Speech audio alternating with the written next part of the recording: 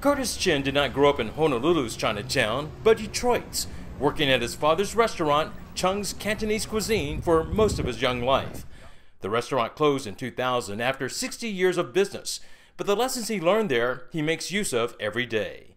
When you're a little kid, oftentimes your parents will say, Don't talk to strangers. My parents actually told me the opposite. They said, Talk to strangers. And who they were talking about were the people sitting in the dining room. And because of that, I've always had this great um, you know, uh, uh, love of just talking to people who are different from me and trying to learn from them.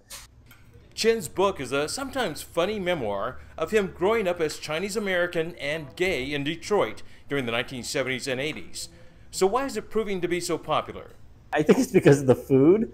I talk about food a lot. Uh, but I also think it's because it's about Detroit in the 80s, a very interesting time period for a lot of people. They're not quite sure what to make of it. But I think when you throw that all in together, it's an interesting mix. There's a lot of humor in it, um, but it also, at the same time, tackles a lot of very uh, important issues that our country is facing right now. As I said to my agents when we were trying to sell the book, it's like, come for the egg rolls, but stay for the talk on racism. Part of his book deals with the 1982 racially motivated beating death of Vincent Chin, who was a friend of his family.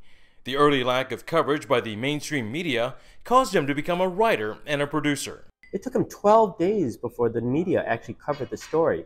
Meanwhile, everybody in the Chinese American community was coming down to our restaurant trying to find out as much details as they could about what happened.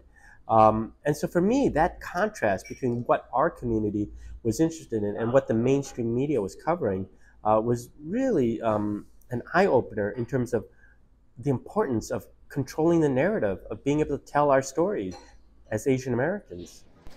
Since his book was released in October, Chin has done 70 promotional events, including five in Europe.